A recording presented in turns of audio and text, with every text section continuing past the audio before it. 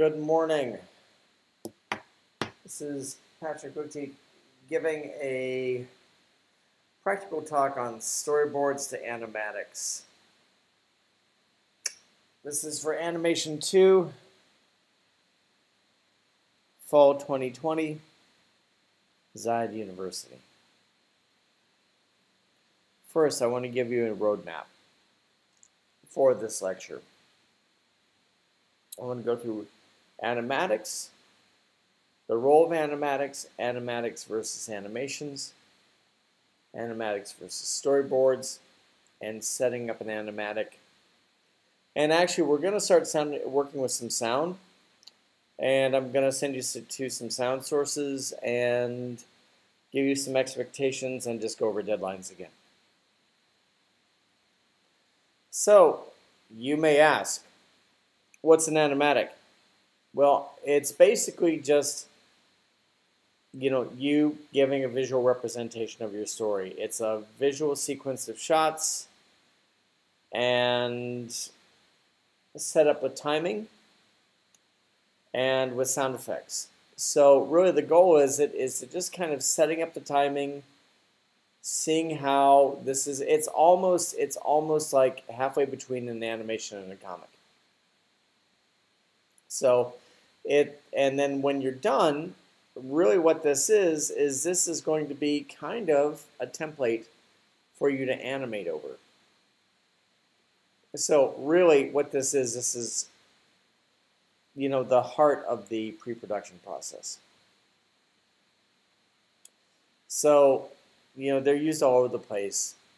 Television, animation, live action movies, everywhere. Every, anywhere you see a sequence of shots so the thing is, is that uh, they were originally created by filming drawings with a camera and then editing the film to various scenes. And then the thing is, is that really we could be doing animatics in Photoshop, After Effects. Uh, there's even an online thing called Boards that's um, also kind of interesting, but we're going to use Premiere probably. Anima animatics versus animation, I don't have this moving, but you can see here that this is more of a sketch, and this is much more finished. So the thing is, is that um, really what happens is that um, you know, it's really just kind of like your your sketches in time versus your finished animation. But the thing is, is as I said, it, it can give a template. So animatics actually use your storyboard images, but you put them into Premiere and you, uh, you, you stitch them together and render them out.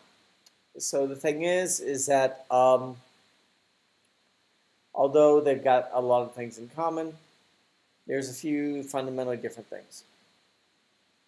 So here's some benefits usually you can do animatics pretty quick. And the one thing that I'm definitely going to want, you know, is that you might be tempted to have all your images in with the same length. Don't do it. This is basically showing me what your timing is going to be like in your animation. You know, this is this is basically what it amounts to is a, a sketch in time of your animation. But the thing is, is that if you have your storyboards and you move around the time and use ripple ripple edit in Premiere a bit, you'll be fine. And as I said before, animatics are a reference point. So the thing is, is that when you're working on the animation, or you could have the animatic all rendered out on a lower layer in something else you could be working on top of it. And you could use it for reference for your frame timing. So what happens is that then, if you do that, you know, you don't get all lost in trying to do it all in your head. And then the thing is, is that then you can focus on kind of like getting the way the story gets told. And there you go. Okay. You can make quick changes. So the thing is, is that since animations are just sketching and not final images, you know, you can just basically just pull a shot, put another shot in, and you know, these are just these are just rough drawings, so it's okay.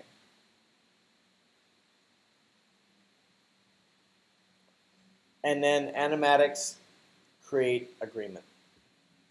So the thing is, is that if you're you know, doing this and you're showing this to a client, this is the first time they actually get to see this start taking shape. And then you can kind of get an idea whether they like it or not. Fair enough. So that's where we are with that. Also, doing an animatic really saves you a lot of time. And if you're doing this for money, it'll save you a lot of money too. So what happens is that you're basically taking all the stuff in your storyboard and then you're getting the sense of timing that you're going from shot to shot. So in this case, you know, you're not taking whole bunches of hours filming or drawing or whatever. And the thing is, is that after you get your animatic done, you know what you want to do. And that's the great thing about it. So you know what's going to work and what isn't. You know, um, and I think the thing that you know is that making an animation takes a lot of time. And this is the reason why we're doing this animatic, so you know exactly what you want to do so you can concentrate on getting this done. As I said, one of the things that I'm most interested in with you is trying to make sure that I'm giving you a quick, flexible, efficient workflow.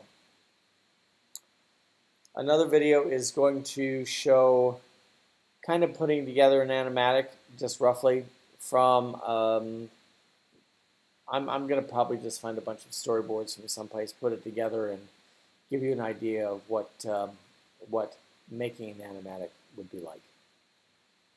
I'll also give you a couple other tutorials as well.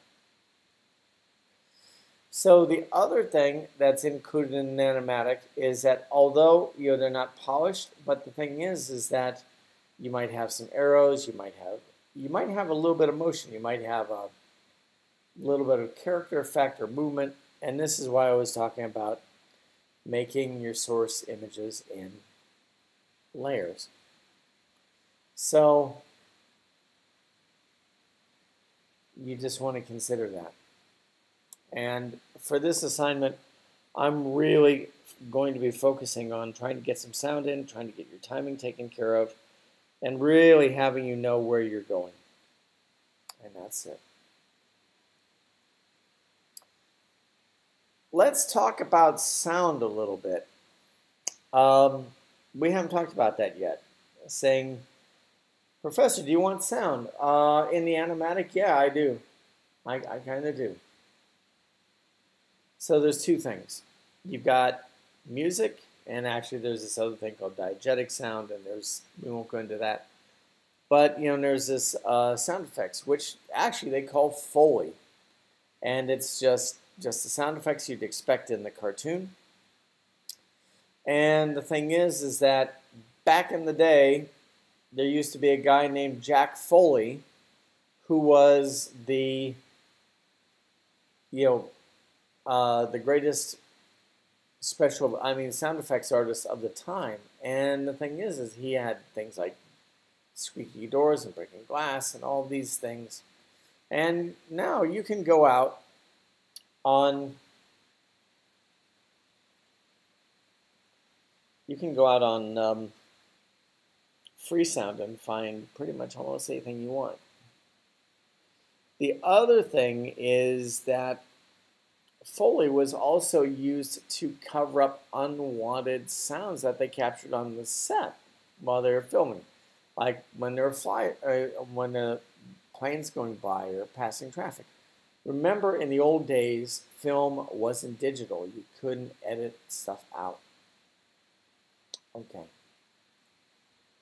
Here's a couple good sound sources. Freesound.org, tons and tons and tons of sound effects. Uh, you do have to get a um, account. It shouldn't be a big deal. And then also Incompetech, which is Kevin MacLeod. He's got literally hours of free music that you can go through and, and, and look at. So, um, sometime either next week or later this week, um, I'll look at we'll look at how to do sound. We'll look at how to edit sound in in Premiere. Okay, how do you set up an animatic? I'm also going to do another video which talks about this.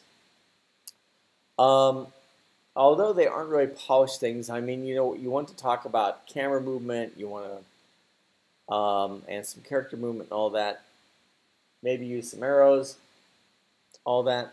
But what happens is that what you need to do is you need to get all your storyboards at HD resolution 1920 by 1080 as PNG or GIF files or JPEGs, just something that can go in there.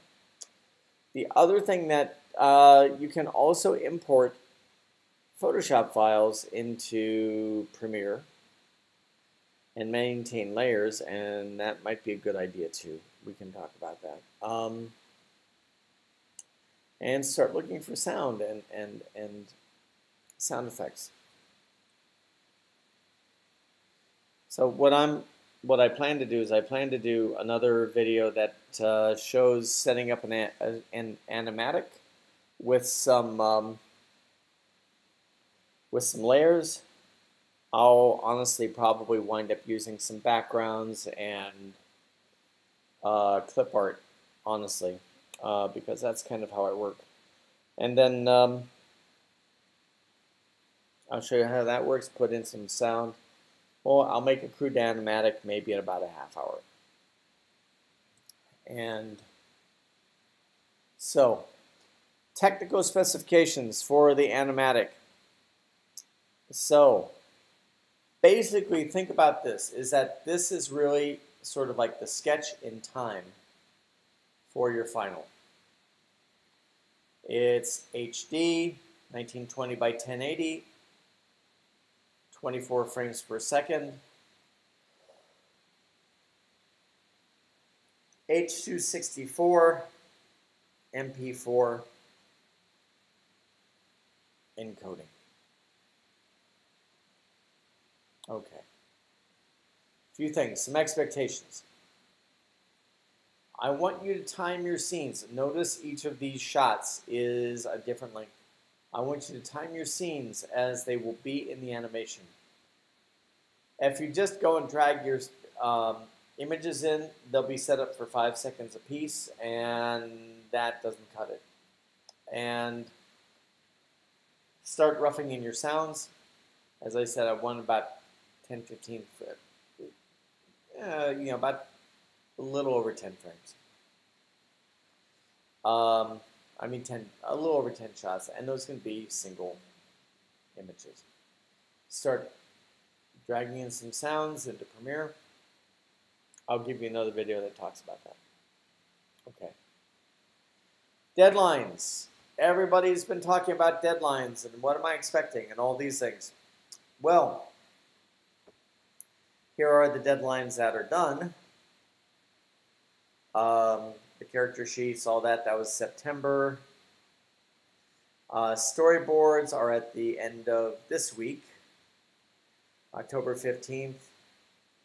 Basically, what I'm talking about is the animatic being done 10 days later. And then really, to tell you the truth, I'm just going to do a number of things to talk to you about um, how to set how to set up animations, how to do character animation, all these things. Um, that I hope that you just start getting to work. And I'm going to be giving you from the end of October until the beginning of December to turn out a minute of animation. So there we go. Uh, some of the other things, the assignments, just, um, you know, you've been working with logo reveals. Um, those are already due, due the 1st of October. Uh, this, the parallax animation, which is now on the, you know, like with the cat and all that, I have the project and I have everything out on Blackboard in the teaching materials and um, that is due the 19th. What I want is that I want you to just basically change everything out and do roughly the same thing. Um, there's a couple of camera angle um, things that I'm going to do, like a pan and zoom and a field of view exercise. That'll be due the 26th. And then uh, the last assignment is going to be the end credits and that uh, will be due on the 19th of November, which is kind of a strange date. But the thing is, is that I want to make sure that we have time maybe for a revision, um, because we'll put that in on like the 26th. I'll give you a day. You know, I'll give you over um, National Day to work on things, and we'll I'll give you another day to keep working, and then we'll just review everything on the last day of semester before finals, and then you submit everything before finals. So there you are. Um,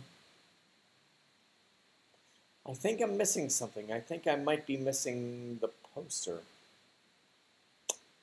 I think that's it. Yeah, yeah. There's actually what they call a, a promotional package. Um, I'll put this in um, into the into the PowerPoint, and I'll talk about it in class. So, uh, and it will be in the uh, it'll be in the project for a brief, which actually, since it's the common assessment, uh, it will the project for a brief will actually be in the teaching materials. So Thanks so much. I hope this eliminates any confusion and um, we will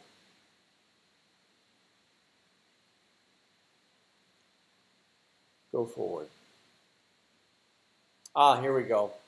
Okay, animatic due uh, uh, October 26th. I'm going to talk about animatics. I'm going to actually release these things as PowerPoint and YouTube because of the fact that I'm in a place that has really bad bandwidth. And we'll see how that goes on. Animatics is um, on the 12th, which is a couple, I'm doing this on the 10th of October 2020. And then I'm going to do a field of view, a field of view, I actually a field of, um, and then Zoom tutorial on October 15th. Um, I think the thing I am missing is the promotional package and the poster. And um, that'll be part of your final project. Okay. Um, okay, that's it for this. And the next, and the other thing I'll include is um, basically setting up an animatic. And I'll, I'll give a couple other tutorials as well alongside this. So anyway, thanks a lot.